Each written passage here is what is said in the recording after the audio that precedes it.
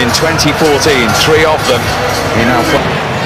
In their back four, of course, Mr. In their back four, of course, Estupiñán of Brighton, but also the highly rated Hincapié, who plays in the Bundesliga with Bayer Leverkusen. Moises Caicedo is a huge part of that midfield, and Enner Valencia looks to add to the goals that he scored in 2014, three of them.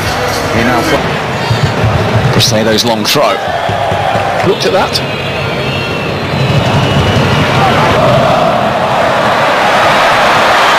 It came a long way, didn't get too much on it. It's still bouncing inside the penalty area, and there's the first goal. Headed in by Enner Valencia. Less than three minutes into the World Cup finals.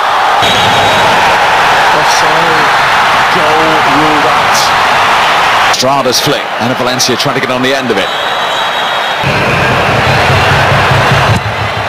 Recovery was from Hassan. It's another one of those direct balls.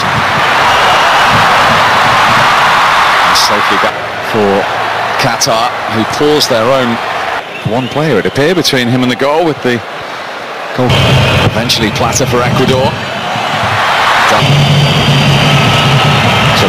This time.